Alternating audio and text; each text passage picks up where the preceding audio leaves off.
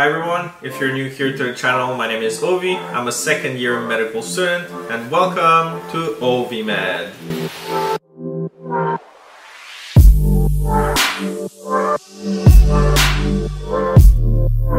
Alright, so in this week's video, I'm going to be giving you 5 tips on how to survive your first year of medical school. So without any further ado, let's get into it.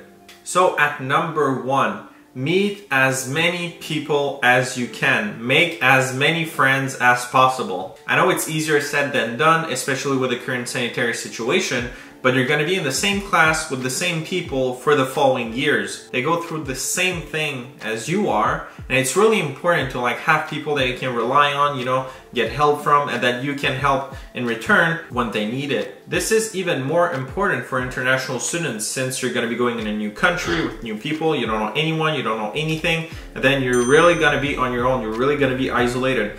If there's a time difference, then even more so. So make sure that you get to know as many people as possible. If they're exactly in the same boat as you, then even better. If they have the same background, it's just gonna be way easier, but get to know as many people as you can. This also applies to older year students. Now, these older year students are gonna have gone through every single thing that you're going through right now. They're to have the same courses, the same professors, the same lecturers, the same exams, more or less, I guess. And they can give you advice on maybe how to tailor your study, um, things to look out for, maybe things to do in the city, uh, maybe some extracurricular activities, something like that. Don't underestimate how important that living experience is.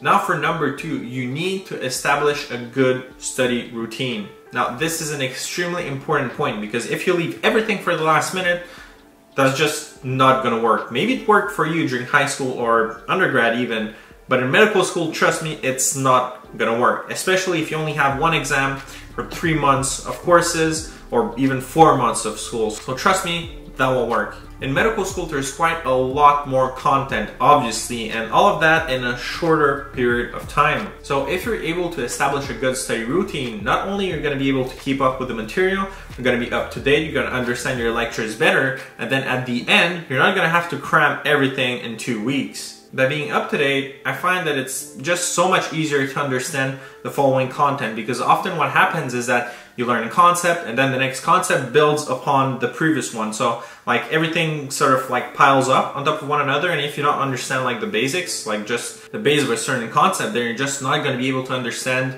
uh, as well, I guess, the following more precise, more detailed concept that follow afterwards. So make sure to stay up to date in your courses. Also, by having a good study routine, it's also going to be easier to start studying. You know, it's always hard to sort of like get the ball rolling and get that momentum or get that initial motivation or however you want to call it. But every time you go to the library, for example, and you sit at a seat, you know it's for studying. And then every time you go there, you start studying for whatever how long, then your brain is gonna know. It's gonna be like automatic that every time you go there, it's a study. And then it's gonna be just easier and easier over time that every time you go there, you just start studying. It's gonna be automatic. So by having a good study routine, it's gonna be easier to manage your time as well because you're gonna lose less time into like priming yourself to start studying. And then it's also gonna give you more time to pursue other interests like extracurriculars, research, uh, going out with friends or whatever you're into.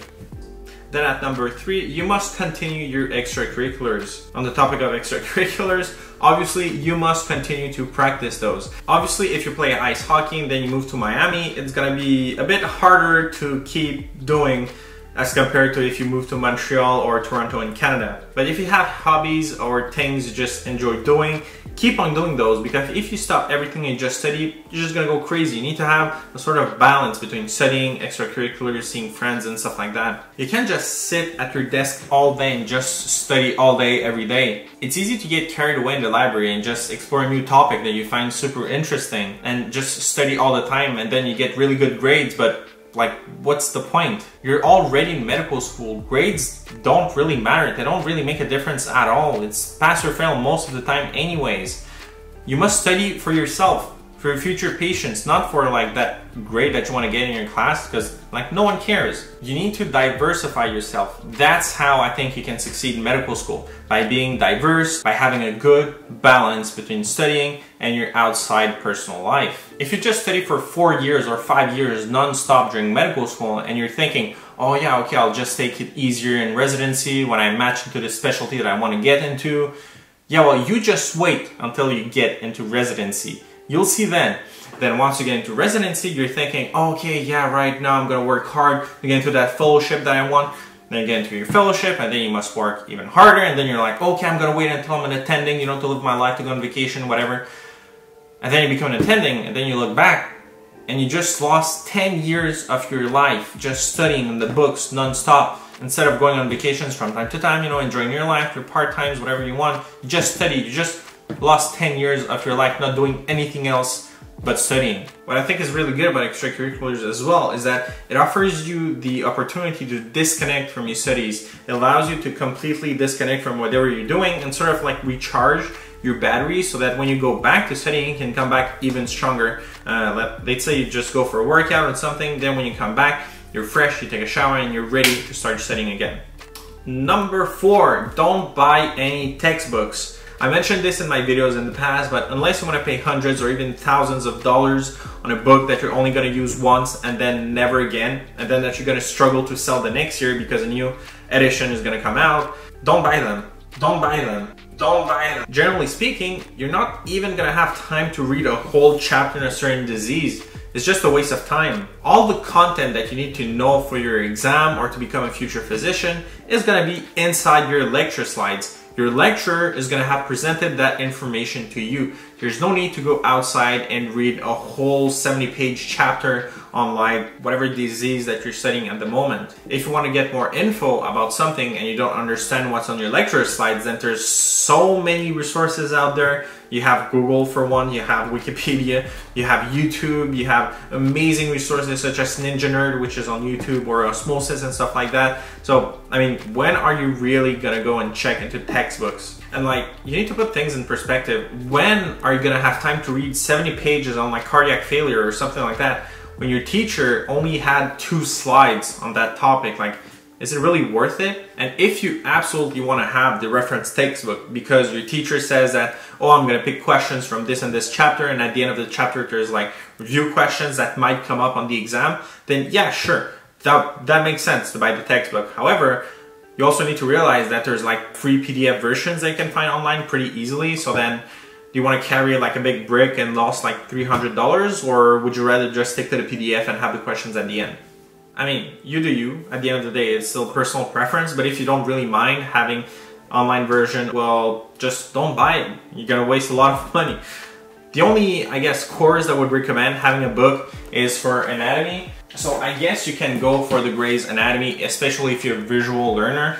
If it's just easier for you to see the muscles and actually like, you know, be able to learn them off better, then sure, but I guess Gray's Anatomy or Netters, I think is the only book I would recommend getting from medical school.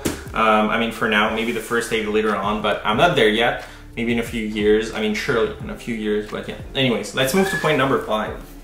All right, so at number five, you need to learn how to become independent. Most of you have already become independent when you moved out for your undergrad, for example. But if you didn't, well then you must learn how to cook, for example, how to manage your money, how to manage and to take care of your own mental health. It's things like that that I mean by becoming independent. Now these are all very valuable life skills that you must possess as early as possible. For food, for example, you can't just eat junk food all day, every day. That's gonna really have a negative impact on your health later on. In terms of money, you can't just spend everything on anything without looking on how much it costs or having a budget or something like that because eventually you're gonna run out of money, especially with how expensive medical school is. By the way, I made a video on how expensive medical school is if you wanna check it out right here. And then for mental health, well, you're gonna go through a lot of hard things, especially if you're an international student, you never moved out of your parents' house, you know, there's a lot of hardships that are gonna come your way. You're gonna have to be alone in a new country, not know anyone. And then if there's a pandemic, for example, that's gonna be even harder. But learning good, healthy coping mechanisms is really gonna go a long way because if you're able to develop good techniques for coping with your mental health or whatever early on, it's really gonna pay off later on when you're gonna be really busy, you're not gonna have time to do a lot of things. So like just don't put it off to the side, don't brush it off because later on it's gonna bite you in the butt, trust me. Cause like you're gonna go through a lot of hard stuff. So the earlier you know how to deal with that, the better off you're gonna be. Alright, so those were my five tips on how to survive your first year of medical school. There could have been plenty more, but that would have been such a long video. If you have any tips, write them down in the comments down below. If you enjoyed this video, please like, comment, and subscribe. If you don't follow me on Instagram, you can follow me at Ovi.Med. If you didn't see my previous videos, I'm gonna link them right here, and see you in the next week's video.